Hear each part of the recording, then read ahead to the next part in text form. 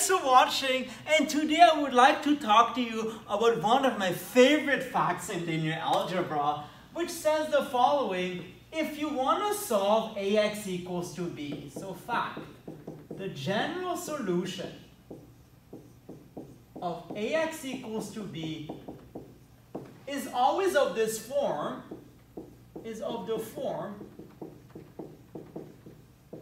namely x equals to x naught plus xp, where x naught is the general solution of ax equals to 0,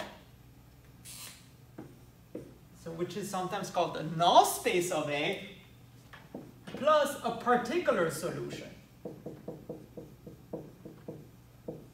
Solution of ax equals b. Okay.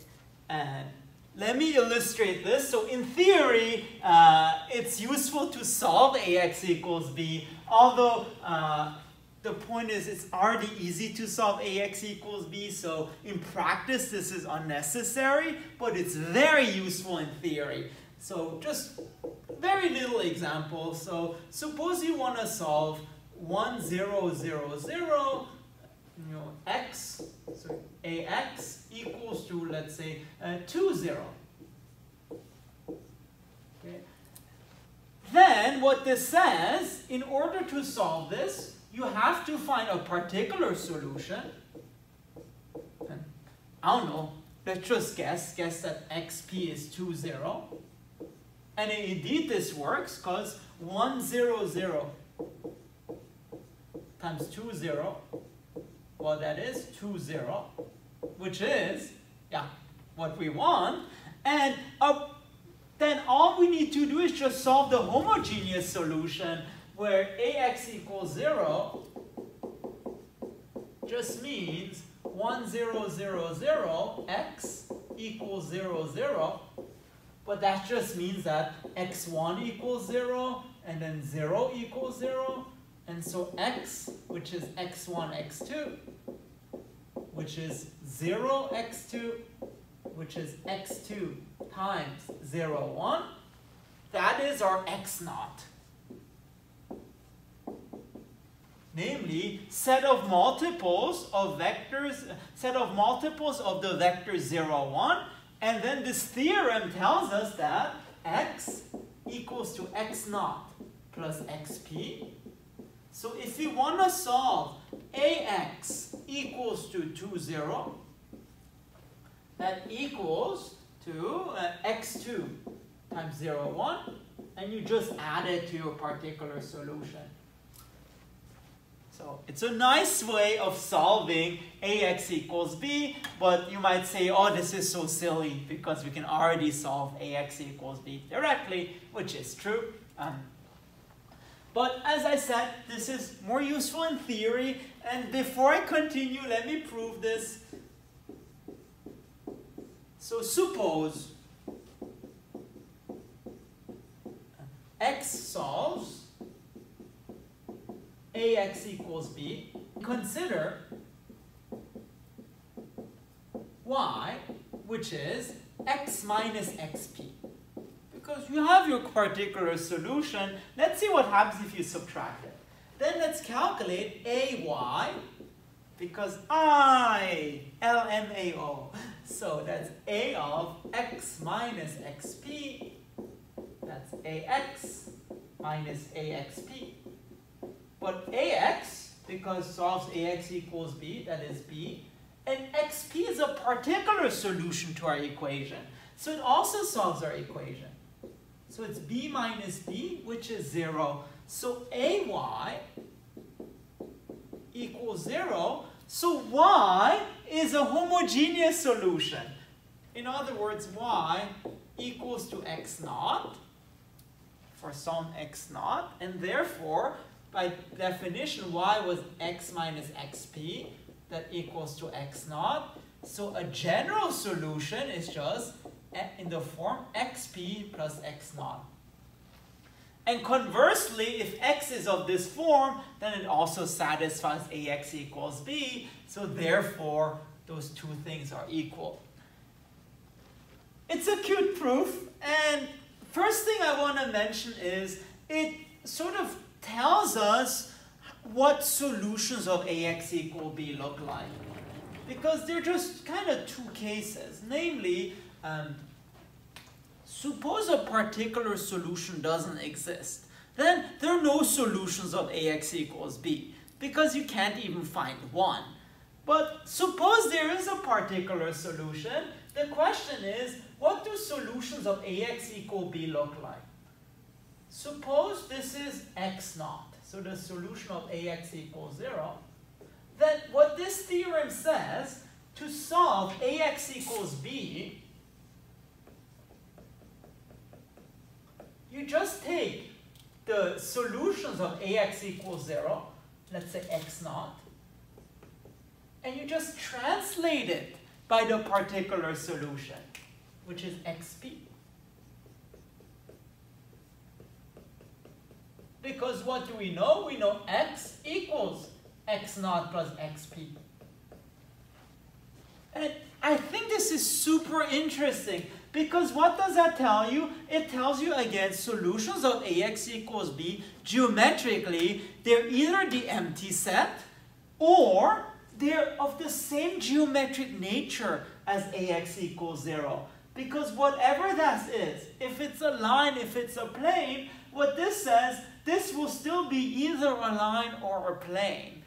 And in particular, I found it very interesting. If you know multivariable calculus, there's something called a level curve of a function. So given, let's say, a multidimensional function, let's say the parabola, then you can consider level sets, and in particular level curves. And in this case, the level curves are like ellipses or circles.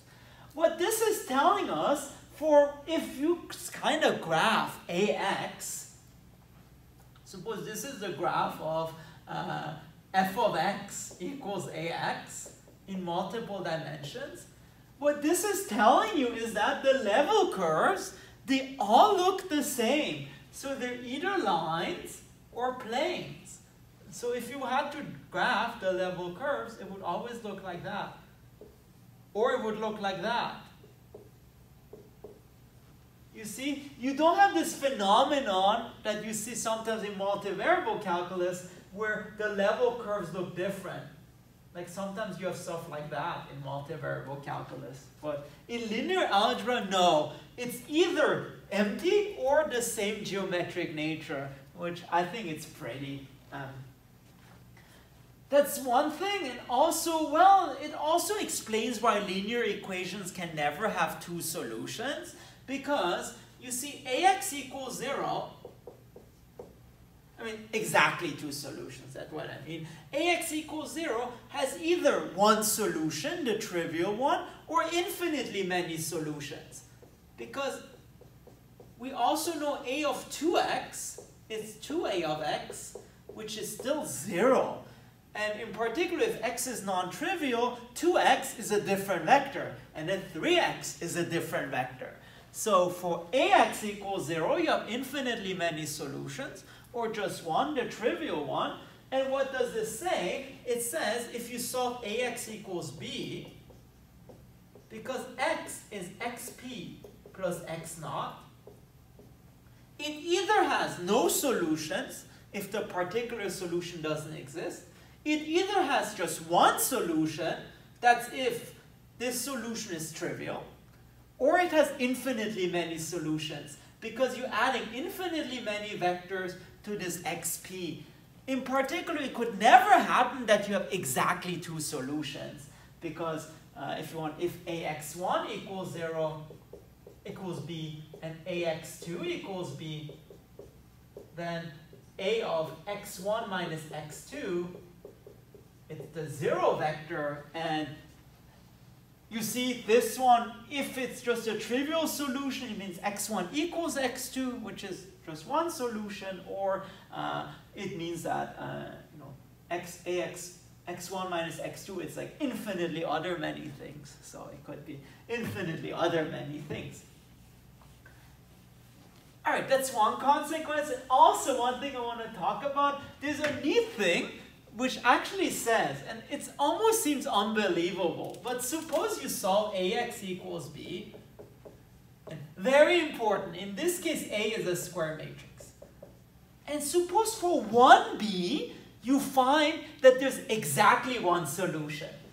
If ax equals b has, actually uh, at least one solution, maybe let's do that.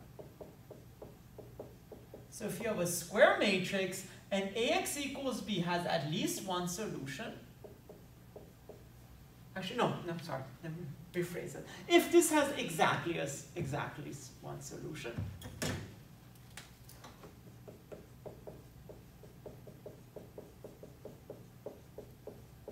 So suppose you solve ax equals b for one choice of b, and you find this has exactly one solution. Then it turns out ax equals b has exactly one solution for every b.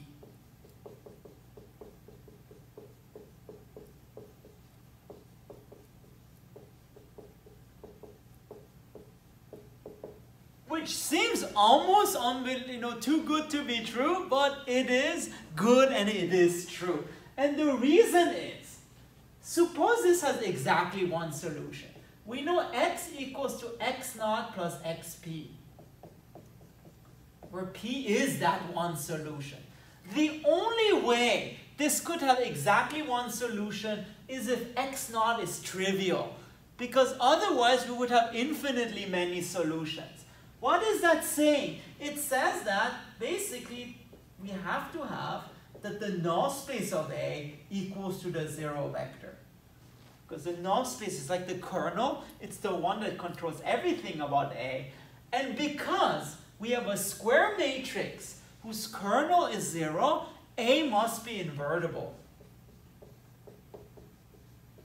Because what this is saying, it says left multiplication by A is 1 to 1, but A is a square matrix, so left multiplication is onto, so left multiplication by A is invertible, so A is invertible.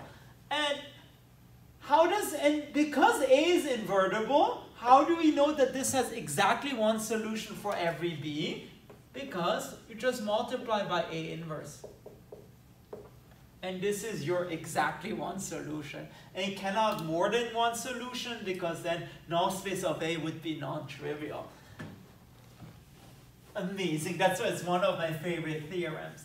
And also, last thing I want to say is that this is true not only for matrices, but also for linear transformations. So if T is a linear transformation, and you try to solve, let's say Ty equals F, then y is equal to a, the homogeneous solution plus a particular solution, where ty0 equals 0 and typ equals f. And in fact, the reason this might look familiar is because you may have seen that in differential equations. Suppose you want to find the general solution of y double prime minus 5y prime plus 6y, let's say equals e to the x. How do you solve this? You first find a homogeneous solution. y double prime minus 5y prime plus 6y equals 0. And if you solve this, you find a homogeneous solution is a e to the 2x plus b e to the 3x. And then you find a particular solution. 6y equals e to the x. And you do this by using either undetermined coefficients or variation of parameters. And what you get is, let's say, uh, 7 minus 5. So I think you get y particular solution. It's like 1 half e to the x. So I just guessed that yp is c e to the x. And I just solve for c because you get two uh, 2c e to the x equals e to the x. So 2c is 1, c is 1 half. And then what does this theorem say? To find the part, um, to find the general solution of ty equals f, y, the general solution is then just given by y naught, which is the homogeneous solution, plus a particular solution, which is 1 half e to the x. And this is not surprising because linear differential equations are linear. They correspond to linear transformations. I want to say linear, linear transformations, but those are just linear transformations. And then you solved your equation like this. That's why linear algebra isn't just applicable in linear in algebra, it's also applicable in differential equations and analysis and other fun stuff. Alright, I hope you like this AX equals B excursion. If you want to see more math, please make sure to subscribe to my channel. Thank you very much.